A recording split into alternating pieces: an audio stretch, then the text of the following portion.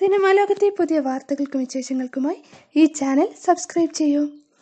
നടീനടൻ ഭാവനയുടെയും കന്നഡ നിർമ്മാതാവ് നവീന്റെയും വിവാഹം മലയാളക്കര വലിയ രീതിയിലാണ് ആഘോഷിച്ചത്. നവീനുമായുള്ള ബന്ധത്തിന്റെ ആഴത്തെക്കുറിച്ച് തുറന്നു പറഞ്ഞിരിക്കുകയാണ് ഭാവന. ജീവിതത്തിൽ നിർഭാഗ്യകരമായ സംഭവങ്ങൾ ഉണ്ടായപ്പോൾ ആദ്യം വിളിച്ചത് നവീനെ ആയിരുന്നെന്നും തനിക്ക് എല്ലാ പിന്തുണയും നൽകി അദ്ദേഹം കൂടെ നിന്നെന്നും വനിതയ്ക്ക് നൽകിയ അഭിമുഖത്തിൽ ഭാവന പറഞ്ഞു. തന്റെ ജീവിതത്തിൽ നിർഭാഗ്യകരമായ ചില സംഭവങ്ങൾ ഉണ്ടായപ്പോൾ ആദ്യം വിളിച്ചത് നവീനെയായിരുന്നു.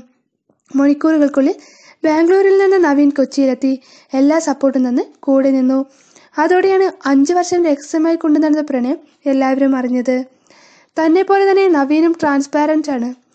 ഇഷ്ടക്കേടുകൾ തുറന്നു പറയും. നവീൻ ബുച്ചു എന്നാണ് തന്നെ വിളിക്കുന്നതെന്നും ഭാവന പറഞ്ഞു. കന്നഡയിൽ ബുച്ചു എന്നാൽ ചെല്ലക്കുട്ടി എന്നാണ്. ഇതുവരെ ജീവിതത്തിൽ സംഭവിച്ചതൊക്കെ നവീനോട് തുറന്നു പറഞ്ഞിട്ടുണ്ട്.